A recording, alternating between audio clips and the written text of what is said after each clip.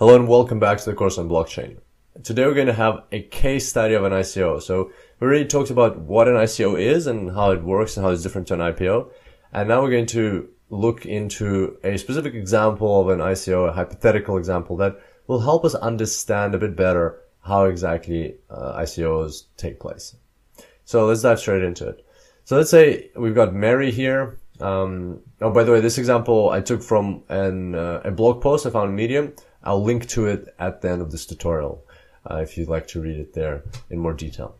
So let's say we've got Mary here who decides to come up with a theme park, to create a theme park. And it's a really uh, innovative theme park. She, or basically she sees some demand in the market. She knows that um, she can do things a bit differently and make it valuable to the community. And then uh, once uh, she's bought the land and everything, she will invite um, businesses to create their own rides there and um, you know to to help her populate this theme park with rides. So she's got a whole case study about this, and she's written a white paper, and we'll talk about white papers uh, in a separate tutorial. And uh, basically, she is ready to get things going, and but she needs funds. She needs to raise some capital in order to buy the land, in order to organize everything, get all the permits and licenses, and and uh, get things underway. So what she decides to do is to do an ICO. And how is she going to do that? Well, she's going to put this whole idea into a box, encapsulate this idea, and say that inside this um, theme park, we're going to use special tokens. They're, let's call them the S tokens. And these S tokens uh, are going to be what people are going to pay for for the rides, uh, and that's what these businesses are going to receive in payment. Um, and so Mary decides to issue 1 million S tokens, and there will never ever be more than that tokens. There's always going to be just 1 million tokens, and she decides to issue them. And then she uh, splits them in half, uh, so 500,000 S tokens and 500,000 S tokens, and one of those um, batches will be used for an ICO. So in the ICO, she'll actually offer to the public only 500,000 S tokens. And the other 500,000 she'll keep for herself, uh, which, so that money later on will be used for, you know, upgrades in the business or to fund more projects within that business or, um, she'll just keep it as, as the founder, as, um, you know, like sometimes founders keep that, uh, those coin, those tokens. And so there's an ICO announcement and some people are interested in this ICO. It might be because they're interested in the project, they want to contribute and get some tokens in exchange. Uh, what they'll do with those tokens, we'll find out in a second. So, but basically the, the way it goes is they pay cash for the tokens, uh, and they receive the tokens in exchange. So basically here they get some tokens and they pay, uh, for instance, the price is determined, uh, Mary sets the price at $2 per token. The initial coin offering is at $2 per token. You can buy one token, one S token for $2. So that allows Mary to raise, if she sells all 500,000, that allows Mary to raise $1 million, which she will then use those dollars to buy the land to start setting up the theme park.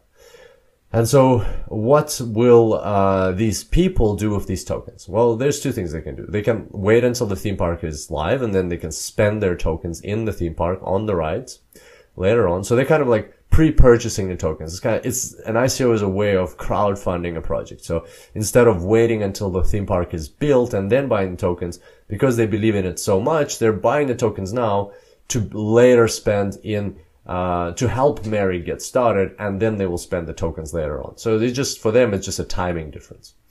Or some of these people are buying the tokens not to spend in the theme park. And this is what we're seeing quite a lot these days in the world of initial coin offerings, in the world of cryptocurrencies.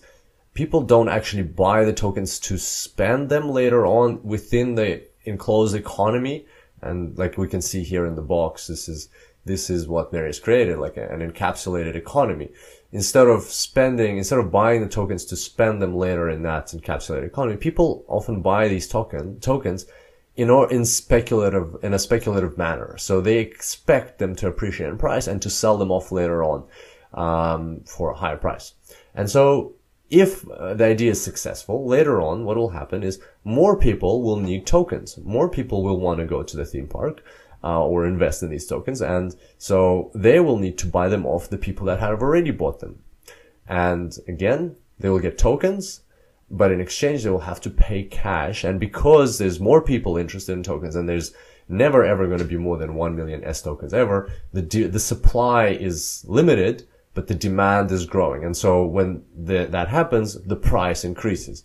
And so because the price has increased, now these people are going to have to pay, for example, $6 per token. And they're going to buy them off these uh, first uh, people that initially got into the market. And what are they going to do with them? Well, they're going to also um, either keep them for investment purposes, for speculative reasons, and later on sell them off one day, or they're actually interested in going to the theme park and they're going to go and spend those tokens at the theme park and uh, purchase rides and um, you know maybe products that they're selling in the theme park, but mostly rides. You ju- jump on different rides and pay with the for the rides with tokens. Um, and so that's that's how this whole system works. The question only the that we still have left is what do these businesses do with those tokens, right? So they've gotten all these tokens. Now, what, what can they do with them? Because they, uh, they might need to pay their employees. They might want to pay some profits out. They, they might not want to just operate in tokens. They want to convert them back to dollars. So a way to convert them back to dollars would be, for example, to sell them back to the public. So the public doesn't only have to buy the tokens from the people that initially invested into the ICO. They can also buy them from the business. And again, here they get tokens. In exchange, they pay cash at the current market price, which might be $6 per token.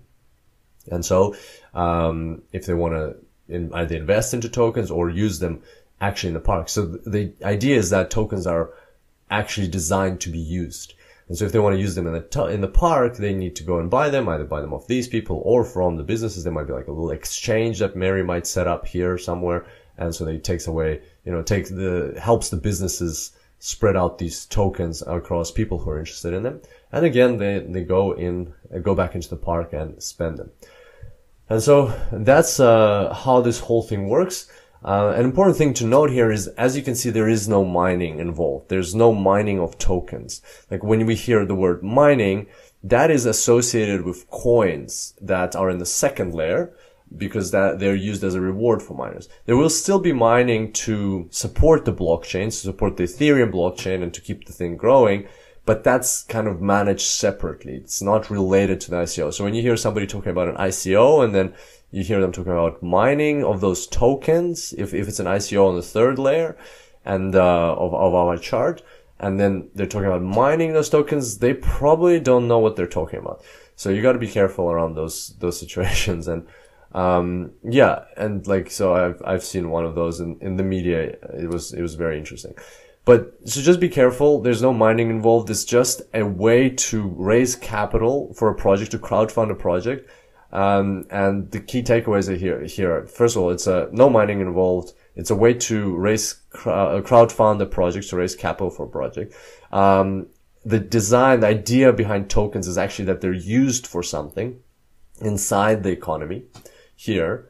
And finally, at the moment, a lot of people are actually buying tokens for speculative reasons. They're not even intending on using them inside that economy. They're intending on selling them off later on. So that's dangerous. That's how bubbles are created. That's how, um, you know, an ICO or crypto bubble can be created. And, um, that's, that's generally something to be aware of. So, um, an important point is to always understand what is the underlying purpose of these tokens. And we'll talk about that in the next tutorial in a bit more detail. Um, but for now, this is uh, how uh, tokens um, works or how ICOs work. If you'd like to read this example in its original version, you can find it here. What the heck is an ICO by Praveen Krishnan uh, on HackerNoon or on Medium. Um, and uh, it's quite a good article. Highly recommend it. And if you want a more in-depth example of an ICO that is has is more involved and has more moving parts and like concepts to grasp. Uh, another example I highly recommend is called How Crypto Tokens Will Enable the Disruption of Businesses Like Uber and Airbnb by Andrew Finn. And Andrew Finn, by the way, is one of the co-creators of the blog called Wait But Why. uh, which is run by Tim Urban. So he and so Andrew Finn has his own uh, little uh, website where you can find some articles, and it's called finscave.com. And this is a quite a recent article where he analyzes, uh, like in detail, a very involved case study of how a company, like a ride sharing company, could use blockchain to completely disrupt Uber and Lyft. Uh, through using blockchain. So very, very interesting read. Quite a long article, but well worth it. So if you want to, um, like enhance your disruptive thinking in the space of blockchain, definitely highly recommend checking this one out. Once again, all of these links will be in um, the course notes um, at Super Data Science. On that note, thank you so much for uh, being here, and I look forward to seeing you next time. Until then, enjoy blockchains.